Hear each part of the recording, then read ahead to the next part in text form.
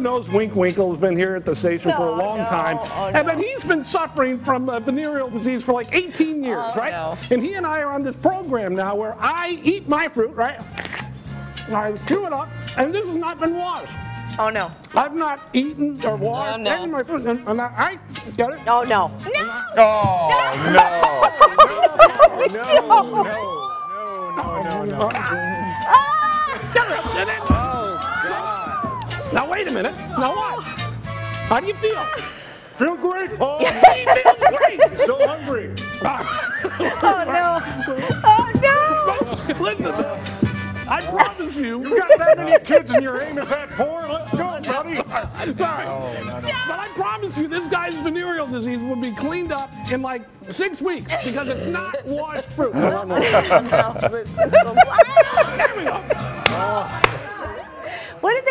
did they call that? Baby birding. Remember uh, Oh, Alicia right, right, Silverstone Right. used to do that. She Said she'd feed her.